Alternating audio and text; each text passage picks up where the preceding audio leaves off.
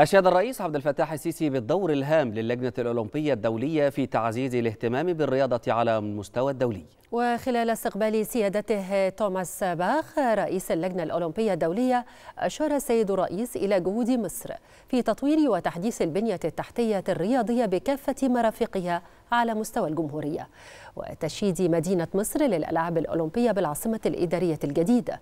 بالإضافة إلى ما تم من رفع كفاءة المطارات الدولية وشبكة النقل والمواصلات وتطوير الطرق والمحاور في القاهرة الكبرى ومحيطها من المدن المجاورة لتيسير حركة التنقل ما بين تلك المنشآت بما يعظم من قدرات مصر في البنية الأساسية الرياضية. من جانبه أشاد السيد توماس باخ بالدور الأولمبي التاريخي لمصر كإحدى الدول الإفريقية والعربية الرائدة في مختلف الرياضات الجماعية والفردية وهو الأمر الذي يعد امتدادا للموقع المصري الريادي في المنطقة. شهد اللقاء كذلك مناقشة آفاق التعاون بين الجانبين لاستضافة مصر لكبرى الأحداث الرياضية العالمية حيث أكد السيد الرئيس استعداد مصر لتوفير شتى سبل الدعم في هذا الصدد. في حين أشار رئيس اللجنة الأولمبية الدولية إلى ثقته الكاملة في إمكانات وقدرات مصر للقيام بهذه المهمة.